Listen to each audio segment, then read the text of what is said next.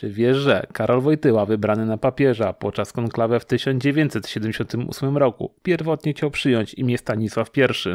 Jednak kardynałowie wskazali mu, że jest to imię nienależące do tradycji rzymskiej i przybrał imię Jan Paweł II.